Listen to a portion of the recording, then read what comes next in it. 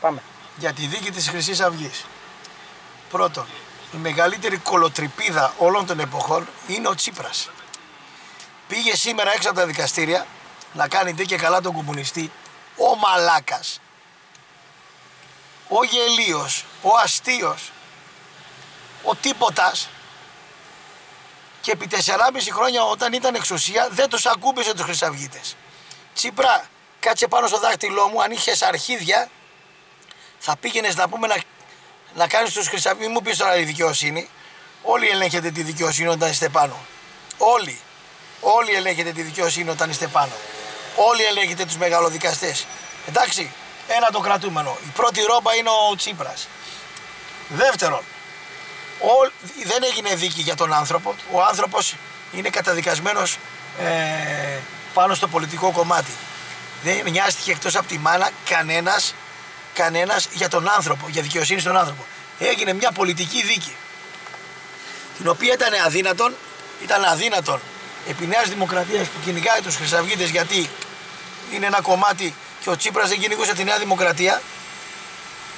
Ο Τσίπρας δεν κυνηγούσε τη, τη Χρυσή Αυγή και αντί τον βόλευε πολιτικά. Τραβούσε ψήφους από τη Νέα Δημοκρατία.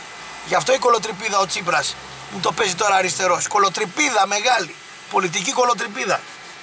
Λοιπόν, ο άλλο. Η διαρροή εκ δεξιών που λένε. Ναι, Η διαρροή- διαρροή εκ δεξιών. Ναι. Μπράβο.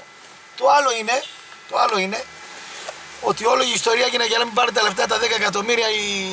Πώς τη λένε, να μην πάρει τα 10 εκατομμύρια η, η πλευρά του, του Μιχαλολιάκου. Τώρα κοίταξε να δεις. Θα βα- Εγώ την προβλέπω. Θα πάει ένας φυλακή, ο Ρουπακιάς, μέσα κάγκελο, και οι άλλοι θα τη βγάλουν με αναστολή, αλλά θα χάσουν και τα λεφτά. Δεν ξέρω, δεν ξέρω τι θα γίνει με τον Κασιδιάρη, ο οποίος έχει μια άνοδο και αρχίζει να έχει πολιτικό κόστος η Νέα Δημοκρατία με την άνοδο Κασιδιάρη. Δεν ξέρω αν τα έχει καλά ο Βελόπουλος με τη Νέα Δημοκρατία. Δεν τα έχει. Εγώ αν ήμουνα... Εγώ αν Αν θα ήμουνα- υπάρξει φυλάκε εννοείς ή αναστολή. Ναι, Ποιος θα είναι ο. αν υπάρξει αφυλάκηση του Κασιδιάρη και όχι αναστολή, είναι πολιτική απόφαση και όχι ανθρωπιστική.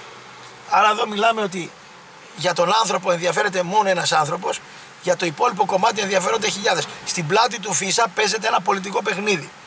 Στην πλάτη, Το αντιλαμβάνεσαι. στην πλάτη του Φίσα παίζεται ένα χοντρό πολιτικό παιχνίδι.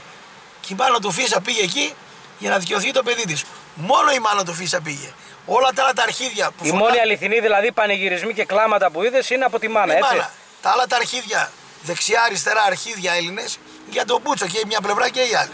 Αυτό έχω εγώ να πω.